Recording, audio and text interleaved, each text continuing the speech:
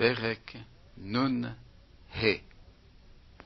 הוי כל צמא לכו למים, ואשר אין לו כסף לכו שברו, ואכולו, ולכו שברו, בלא כסף ובלא מחיר יין וחלב. למה תשקלו כסף בלא לחם, ויגיעכם בלא לשובעה, שמעו שמוע אלי ואכלו טוב, ותתענג בדשן נפשכם.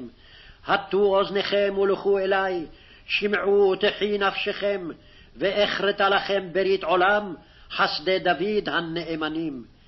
הן עד לאומים נתתיו, נגיד ומצווה לאומים. הן גוי לא תדע תקרא, וגוי לא ידעוך, אליך ירוצו. למען אדוני אלוהיך, ולקדוש ישראל כי פערך.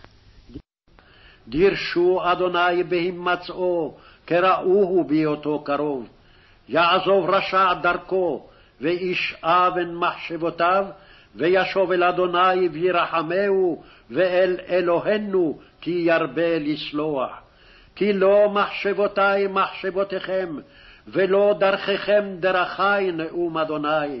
כי גבהו שמים מארץ, כן גבהו דרכי מדרככם, ומחשבותי ממחשבותיכם.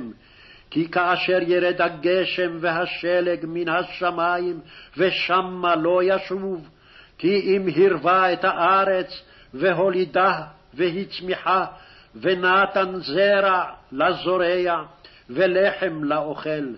כן יהיה דברי אשר יצא מפי, לא ישוב אלי רקם, כי אם עשה את אשר חפצתי, והצליח אשר שלחתיו.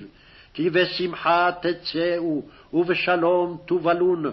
ההרים והגבעות יפצחו לפניכם רינה, וכל עצי השדה ימחה וכף. תחת הנעצוץ יעלה בראש, ותחת הסרפד יעלה הדס, והיה לאדוני לשם, לאות עולם לא יכרת.